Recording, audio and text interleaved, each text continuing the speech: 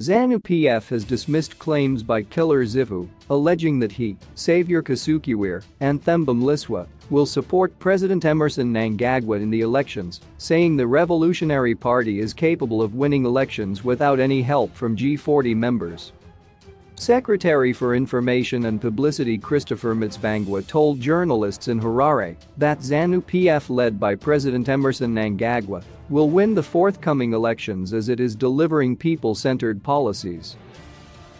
Over the weekend, social media was awash with pictures of Savior Kasukuwere, Killer Zivhu and Themba Mliswa, claiming they are ready to offer support to President Emmerson Mnangagwa in the forthcoming elections.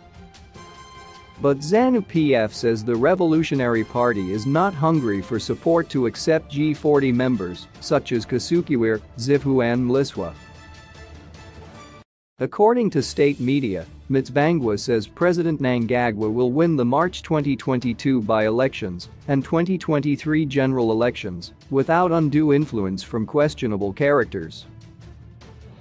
ZANU-PF, the party and home of the Zimbabwe Revolution, has noticed the attempt at grandstanding by an exiled erstwhile G40 figure who goes by the name Savior Kasukuwere.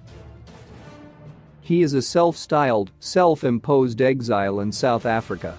He issued a statement in the wake of self-serving encounters with two vain political pretenders. Through this encounter Kasukuwere seeks to smuggle and snuggle back into political relevance onto the ongoing and unfolding drama of the glorious Zimbabwe revolution led by H. E. President Emmerson D. Mnangagwa, the first secretary of the ruling ZANU-PF, said Ambassador Mutsvangwa. He added, Clearly, three years of exile after spectacular fall from political grace courtesy of the 2017 Operation Restore legacy have taken the toll on the mindset of the exiled G40 kingpin Completely out of touch with the political realities of the Zimbabwe political scene, he now seeks relevancy through some two moonlighters and pretenders. For the record, the President Ed Mnangagwa has no need whatsoever of the purported and professed support of the three whistlers in the dark who wallow in the political darkness. He will win the by-elections and 2023 national elections on the basis of the ardent support of the Zimbabwe populace. Ambassador Mutsvangwa also spoke on the recent suspension of some party members, saying President Mnangagwa is determined to have a corrupt-free administration.